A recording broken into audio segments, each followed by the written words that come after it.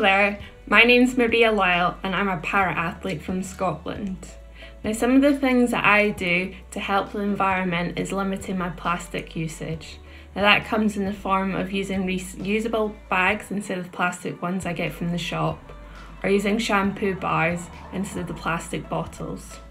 Another thing that I do is limit the amount of clothes that I buy. I think something that young people are quite guilty of is just buying clothes when we don't necessarily need them. On social media, we see lots of influencers buying lots of different clothes, showing them off, and it kind of that gives you that pressure of you needing to have a new outfit every time you go out. Now, often we see these clothes piling up in dumps, and what happens to them?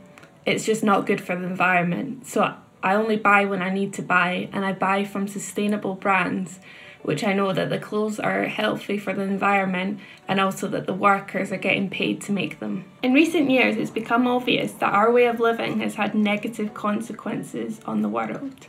There's been increased wildfires, floods, droughts, along with rising sea levels and global temperatures.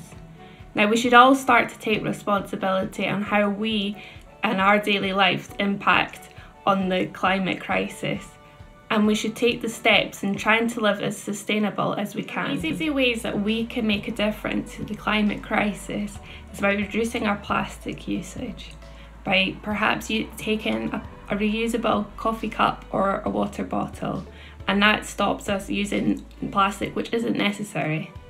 Another thing that I've mentioned before is limiting the amount of clothes we buy each Some of the things I'd like to see in the future is everyone starting to take steps in living sustainable, and this will help for the environment.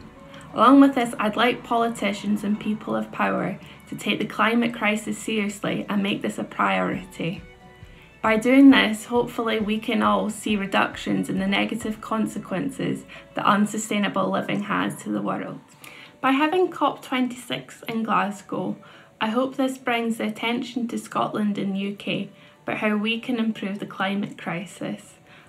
I also hope that this brings pressure to the Scottish and UK governments about how they can make policies which will help to contribute to the climate crisis positively.